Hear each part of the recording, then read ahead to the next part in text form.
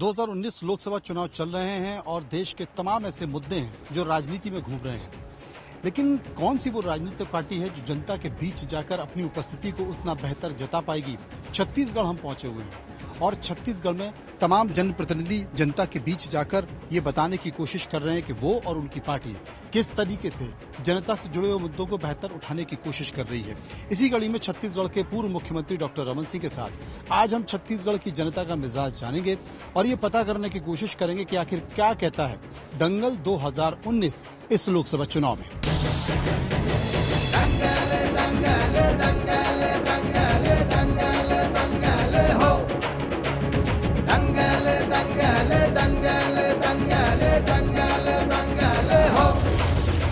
दो हज़ार उन्नीस दंगल चल रहा है और इस लोकसभा चुनाव में क्या कुछ तस्वीर निकल कर आती है बहुत महत्वपूर्ण है। पूरे देश में चर्चा इस बात को लेकर हो रही है। क्या इस बार भी मोदी सरकार या विपक्ष जिन बातों को कह रहा है, वो सच होता नज़र आएगा। अलग अलग राज्य की अपनी अलग अलग बातें हैं। छत्तीसगढ़ क्या कुछ कहता है? इसीलिए छत्तीसगढ़ के पूर्व मुख्यमंत्री डॉक्टर रमन सिंह जी के साथ हम मौजूद हैं, जो छत्तीसगढ़ के तमाम सुदूर इलाकों में घूमकर लोगों में ये भरोसा दिलाने की कोशिश कर रहे हैं कि इस बार भी मोदी सरकार। डॉक्टर साहब, इस बार का लोकसभा चुनाव क्या कुछ कहता है? इसलिए भी महत्वपूर्ण है क्योंकि हाल ही में विधानसभा चुनाव हुए हैं और छत्तीसगढ़ में कांग्रेस की सरकार बनी है। तो लोकसभा चुनाव से और विधानसभा चुनाव कैसे अलग है? लोकसभा के मुद्दे और विधानसभा के मुद्दे हमेशा अलग रहते हैं। विधानसभा के मुद्दे के आधार पर चुनाव लड़ा गया। कोई अलग कारण से लेकर सरकार भारतीय जनता पार्टी की नहीं बनी। और अब जो चुनाव हो रहा है लोकसभा का, वो राष्ट्रीय मुद्दे पर हो रहा है। मोदी जी के नाम और मोदी जी के काम से हो रहा है। और इस देश के प्रधानमंत्री के चयन के लिए कैसा व्यक्ति को प्रधानमंत्री बनाना है, जो देश को विकसित राष्ट्र के रूप में ले जाए जो भारत का मान सम्मान गौरव बढ़ाए जो राजनीतिक दल नरेंद्र मोदी जी के नेतृत्व में हिंदुस्तान की सबसे बड़ी राजनीतिक पार्टी के रूप में काम कर रही है विकास के नए कीर्तिमान स्थापित किए। आज मैं कह सकता हूँ आठ करोड़ लोगों को गैस सिलेंडर और चूल्हे देने की बात डेढ़ करोड़ आवास की योजना दस करोड़ परिवार को पाँच लाख तक के इलाज के आयुष्मान भारत की बड़ी योजना पैंतीस करोड़ लोगों के खाते खोलने की बात। और उससे बड़ी बात, देश का मान सम्मान और गौरव बढ़ाने का काम किया। आज पाकिस्तान के साथ जिस प्रकार से नरेंद्र मोदी जी ने दृढ़ता दिखाया, पुलवामा के बाद जो सर्जिकल स्ट्राइक किया, पाकिस्तान को मजबूर होकर अभिनंदन को भारत की सीमा में छोड़ने के लिए लाना पड़ा। तो आज देश में इस बात की चर्चा है कि मजबूर, नई मज़बूत प्रधानमंत्री चाहिए, सशक्त भारत चाहिए। अभी मैंने आपकी एक चुनावी सभा सुनी। उस चुनावी सभा में आपने ज़िक्र किया कि किसानों को कर्ज माफ़ी की बात सरकार ने की थी। उसमें आपने ज़िक्र किया कि आपने पब्लिक से पूछा कि क्या किसी को बेरोजगारी भत्ता मिला क्या? आप उंगली उठाकर बताइए। तो ये तमाम मुद्दे हैं जिनका ज़िक्र कांग्रेस के नेताओं ने जो कि फ़िलहाल सत्ता में बैठे हुए उन्होंने जनता से किया था। क्या आपको लगता है कि किसानों के साथ छलावा हुआ? क्या आपको लगता है कि युवाओं के साथ छलावा हुआ? महिलाओं के साथ छलावा हुआ शराबबंदी के नाम से वोट लिया गया। युवकों के नाम से छलावा हुआ तेईस लाख लोगों को बेरोजगारी भत्ता दस हज़ार ढाई हज़ार रूपया महीना देने की बात हुई। नौकरी पेशा लोगों को शिक्षा कर्मियों के साथ छलावा हुआ आठ साल से ज़्यादा काम करने वाले शिक्षा कर्मियों को रेगुलर करने की बात। संविदा कर्मचारियों को वादा किया था, उस पर भी उनके साथ छलावा हुआ। किसानों में भी सबके कर्जे माफ़ नहीं हुए। दो साल का बोनस अभी तक मिला नहीं। और तो और आर्थिक स्थिति ऐसी खराब हो गई कि पेंशन मिलना बंद हो गया। नमक बंद हो गया, चना बंद हो गया। जिस सरकार सौ दिन में कर्ज से डूब गई है। सात बार कर्ज ले लिया है। आर्थिक दृष्टि से दिवालियापन के कगार में ये तमाम सारे मुद्दे हैं, लेकिन इसके बावजूद भी छत्तीसगढ़ के मुख्यमंत्री भूपेश बघेल कहते हैं कि हमने हमने कर्जा माफ़ किया है और चूँकि वो विपक्ष में है, इसलिए सिवाय बौखलाट के कुछ नहीं करेंगे। और शराबबंदी को लेकर भी हम आगे की स्थिति क्रिएट कर रहे हैं, आगे की स्थिति कर रहे हैं। लेकिन छत्तीसगढ़ में अमित शाह मौजूद थे यहाँ पर कुछ घंटे पहले। उन्होंने एक ज़िक्र कहा कि भीमा मंडावी के साथ नक्सलियों ने जो कुछ किया नक्सली घटना हुई, जवान शहीद हुए, ये एक राजनीतिक षड्यंत्र है। इसके क्या मायने निकाले?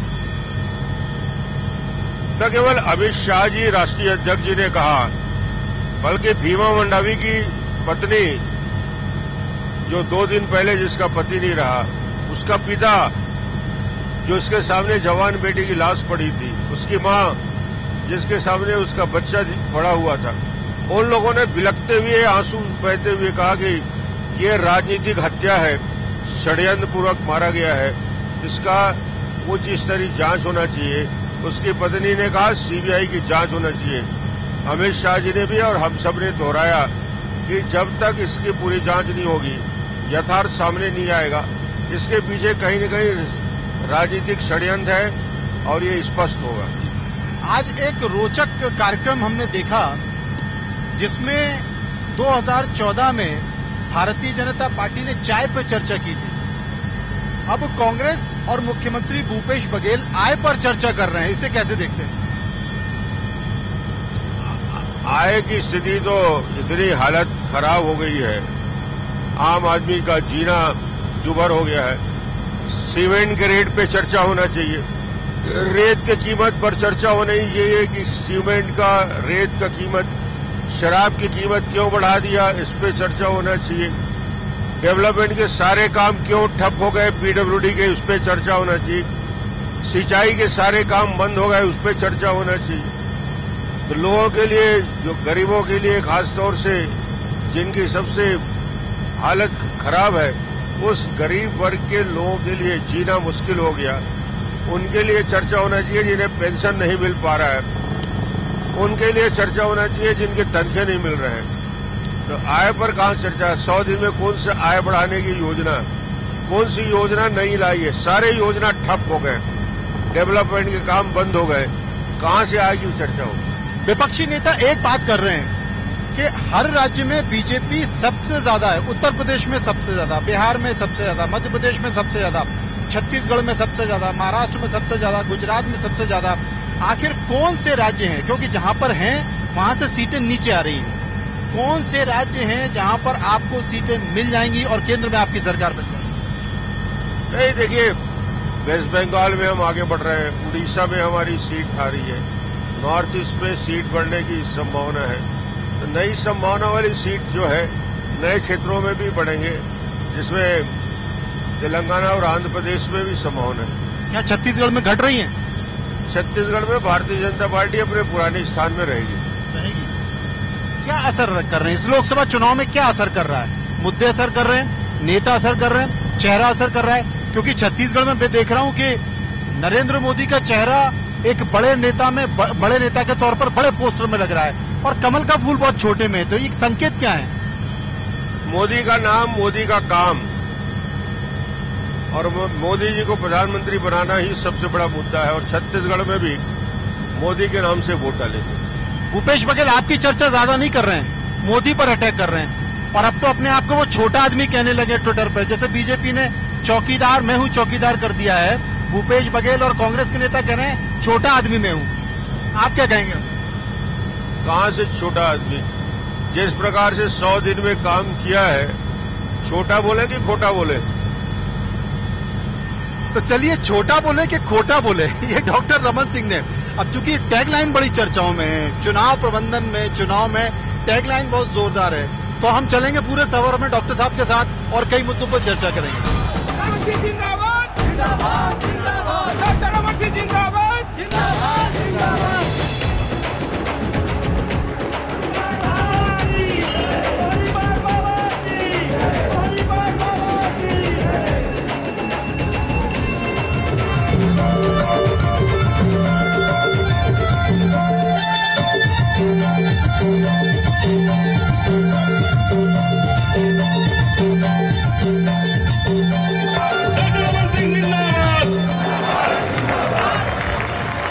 चुनाव अभियान में एक बात बहुत स्पष्ट है कि चुनाव का केंद्र बिंदु यदि कोई है, चुनाव में यदि जनता के बीच कोई व्यक्ति का नाम चल रहा है, अकेला नरेंद्र मोदी के नाम से पूरा चुनाव खड़ा है।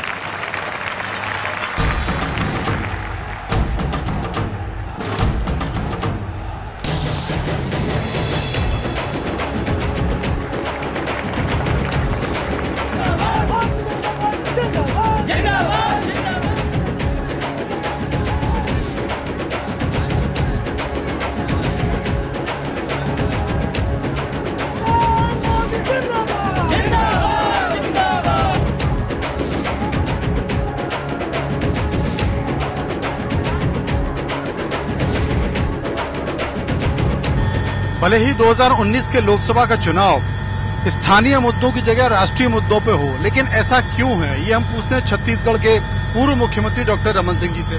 रमन सिंह जी, एक चीज़ में देख रहा हूँ कि ये चुनाव स्थानीय मुद्दों की बजाय राष्ट्रीय मुद्दों पे ज़्यादा देखा जा रहा है, और राष्ट्रवाद का मुद्दा, भारत पाकिस्तान का मुद्दा, भारतीय अस्मिता का मुद्दा, आपके चुनाव में हमने देखा अभिनंदन का मुद्दा, ये प्राथमिकता में है क्यों?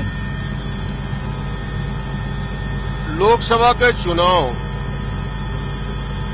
सामान्यतः पिछली बार भी और उसके बार भी तीन बार हम लोगों ने 2003, 8 और 13 में बढ़त ली थी।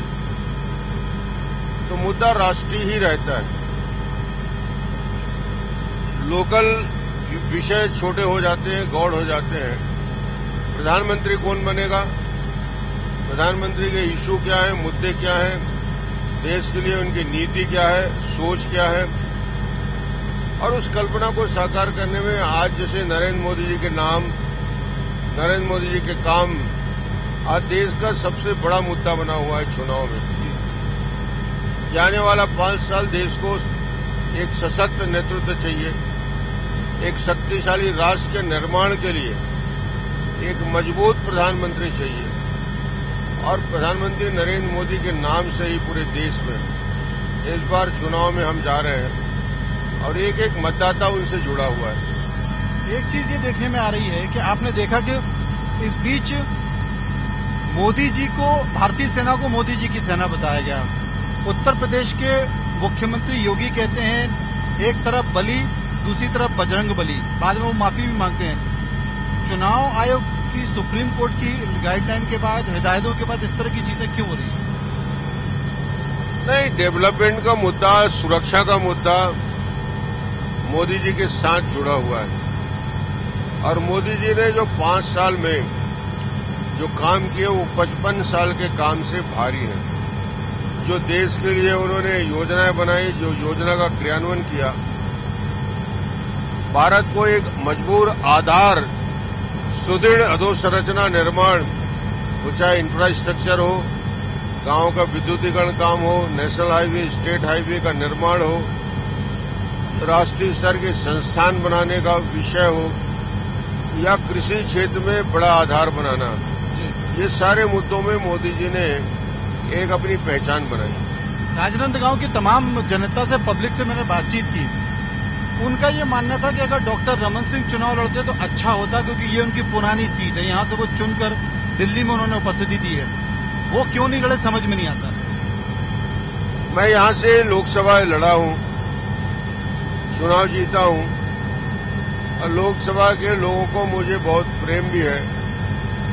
मगर मैं चूँकि विधानसभा में विधायक की हैसियत से अपनी भूमिका निभाया, पंद्रह साल मुख्यमंत्री रहा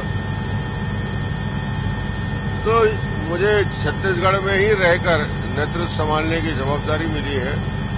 और मुझे लगता है कि डॉक्टर रमन ही क्यों? भारतीय जनता पार्टी का कोई सिपाही भी चुनाव लड़ेगा, कोई कार्यकर्ता भी चुनाव लड़ेगा। जैसे संतोष पांडे लड़ रहे हैं तो हम सब मिलके उतनी ही ताकत से लगे हैं, मोदी जी के नाम से वो जीतेगा। तो क्या पार्टी ने ऐसा फैसला किया कि तीनों मुख्यमंत्री जहाँ पर विधानसभा चुनाव हुए जहाँ पर बीजेपी आ रही वो वो तीनों ही मुख्यमंत्री अब चुनाव न लड़े लोकसभा मैंने तो कोई दावा नहीं किया था और मेरी इच्छा भी नहीं थी। पर ऐसा कोई फैसला अलग से नहीं हुआ है। अलग अलग विषयों में चर्चा हुई। विधानसभा चुनाव में जो बीजेपी सरकार हारी है हालाँकि पंद्रह साल का अंतर था एक बड़ा बहुत बड़ा समय होता है तो आपको क्या लगता है उन उसका असर उनके मुद्दों का असर उनके नेताओं का असर लोकसभा में होगा? नहीं, एक बार एंटी इनकम्बेंसी पंद्रह साल का था। कहीं न कहीं नाराज़गी थी। वो विधानसभा में निकल चुका है। अब लोकसभा में लोकसभा के मुद्दों पे ही लड़ा जाएगा। 2019 का लोकसभा चुनाव किन मायनों में महत्वपूर्ण है? आप क्या मानते हैं? क्योंकि मोदी जी कहते हैं कि 60 साल में विकास नहीं हुआ। वो कहते हैं कि कांग्रेस को हराइए, गरीबी मिटाइए, कांग्रेस को बाहर कर दीजिए। इसके साथ साथ वो कहते हैं, अगर देश को मज़बूत करना है, विदेशों में उपस्थिति दर्ज करना है, गरीबों के लिए कुछ करना है तो एक बार फिर से मोदी सरकार। क्या वाकई ऐसा मुमकिन है? मोदी जी ने जनता को ये विश्वास दिलाया है। गरीबों के लिए, किसानों के लिए, मजदूरों के लिए जितनी योजनाएँ उन्होंने लाई है तो आज पूरे देश को भरोसा है कि कोई निर्णायक निर्णय ले सकता है। वो इस देश में ईमानदारी के साथ काम कर सकता है भ्रष्टाचार के खिलाफ लड़ाई लड़ सकता है आतंकवाद को समाप्त कर सकता है नक्सलवाद के साथ लड़ाई लड़ सकता है। ये महत्वपूर्ण मुद्दों में कोई अगुवाई कर सकता है उसमें अकेले नरेंद्र मोदी है जो क्षमता है। अभिषेक यहाँ से सांसद हैं। पार्टी ने अभिषेक को टिकट नहीं दिया है। अब अभिषेक के राजनीतिक भविष्य का क्या? देखिए हम सबकी राजनीतिक भविष्य पार्टी तय करती है। जो पार्टी तय करेगी उसी दिशा में काम करेंगे एक सवाल और मैं आपसे पूछना चाहता हूँ अगर क्योंकि ये तो जनता तय करेगी अगर केंद्र में सरकार बन जाती है तो क्या डॉक्टर रमन सिंह को हम केंद्रीय मंत्री के तौर पर देखें? मुझे नहीं लगता अभी कोई ये तो बहुत ही हाइपोथेटिकल प्रश्न है। मैंने कहा अगर। ऐसी कोई संभावना मुझे नहीं लगता कि फ़िलहाल हुई। छत्तीसगढ़ में कितनी सीटें आप मानते हैं? हालाँकि द्वंद्व है कांग्रेस की सरकार है। पिछली बार की तरह बेहतर स्थिति में रहेंगे। पिछली बार से बेहतर स्थिति में। पिछली बार की तरह। पिछली बार की तरह। दो, 2019 का लोकसभा चुनाव कई मायनों में महत्वपूर्ण माना जा रहा है। एक तरफ़ महागठबंधन है और महागठबंधन अपने आप में एक मज़बूत स्थिति बताने की कोशिश कर रहा है। महागठबंधन के बारे में ज़िक्र है क्योंकि तमाम सारी पार्टियाँ हैं। इधर मायावती और अखिलेश का गठबंधन है। उधर एक अलग महागठबंधन है, जिसको आप ठग बंधन गठबंधन कहते हैं। क्या बीजेपी पर ये महागठबंधन या विपक्ष का जो फ्रंट है, वो असर डाल पाए? देखिए, वोटों को सेंट्रलाइज करने के लिए, वोटों को बटने से रोकने के लिए कहीं ना कहीं महागठबंधन हो रहा है। भारतीय जनता पार्टी ने भी कुछ मित्र दलों के साथ बातचीत की है, समझौता किया है। मगर मुझे लगता है कि ये जो गठबंधन है, जहाँ अलग अलग राज्यों में अलग अलग लड़ भी रहे एक दूसरे के खिलाफ, ममता के खिलाफ लड़ रहे हैं, समाजवादियों के खिलाफ लड़ रहे हैं अलग अलग राज्यों में कांग्रेस इनके खिलाफ भी लड़ रही है। कहीं पूरे राष्ट्रव्यापी कोई समझौता नहीं हुआ है। एक अंतिम सवाल मैं आपसे पूछना चाहता हूँ कि भूपेश बघेल, बतौर मुख्यमंत्री, उनकी सरकार कुछ कार्रवाइयाँ कर रही है। वो आईपीएस मुकेश गुप्ता के खिलाफ कार्रवाई हो रही है, आपके दमा डॉक्टर पुनित के खिलाफ कार्रवाई हो रही है, और वो सीधा हमला नरेंद्र मोदी पर कर रहे हैं कि अगर नरेंद्र मोदी चौकीदार हैं तो डॉक्टर पुनित को पकड़े। ये इस कार्रवाई को आप कैसे मानते हैं? ये सारे काम, सारी प्रक्रिया मैंने पहले भी कहा, कि यदि कोई आरोप प्रत्यारोप लगा है, इसका एक ही रास्ता है, न्यायालय से जो फैसला आएगा और न्यायालय के ऊपर सबको भरोसा करना चाहिए। न्यायालय से दूध का दूध पानी का पानी हो जाए। तो न्यायालय से दूध का दूध पानी हो, पानी हो जाना चाहिए और जितने भी आरोप लगाए जा रहे हैं कहीं ना कहीं इसमें राजनीतिक एक भू आ रही है राजनीतिक षड्यंत्र की स्थिति आ रही है ऐसा कहा जा रहा है। लेकिन 2019 का चुनाव कई मायनों में महत्वपूर्ण माना जा रहा है और ये माना जा रहा है कि इस चुनाव का परिणाम देश के आने वाले कई वर्षों पर असर डालेगा। लेकिन 2019 के परिणाम बताएँगे कि केंद्र की सत्ता पर कौन बैठेगा और इस दंगल का दबंग और इस दंगल के सितारे कौन होगा? फ़िलहाल छत्तीसगढ़ से मैं मनोज मनु, कैमरामैन विश्वकर्मा के साथ, तमाम परिस्थितियों पर नज़र के साथ, तमाम मुद्दों के साथ, चर्चा के साथ यहाँ की संभावना को देखते हुए आपके सामने ये रिपोर्ट रख रहे हैं। आने वाले समय में देखते हैं कि आखिर कौन बनेगा विजेता और कौन बनेगा दंगल का पहलवान।